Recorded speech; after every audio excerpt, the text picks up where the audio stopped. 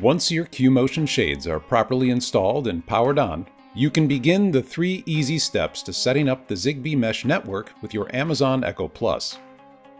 You'll need a current Amazon account to get started. Download the Alexa app to your smartphone or tablet if you haven't already done so.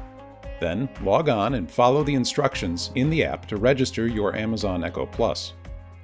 To start setting up your home network, go to the Home menu and select Smart Home from the drop-down choices.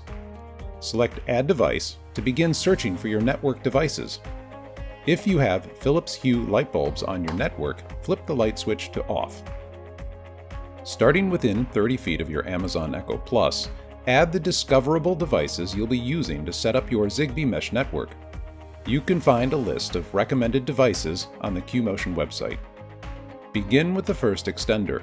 The Alexa app will search for the device for a full 45 seconds. Then, once the device is recognized, select Edit to change the device name to the name preferred for voice command. Repeat this process with each extender. Please note that in order to properly name your network devices, it is important you add each device one at a time. Build out your network making sure to have at least two range extenders within each 30-foot area of the shades you wish to operate. Range extenders can only host, or parent, up to six devices at a time, so in rooms with multiple shades, additional extenders may be required.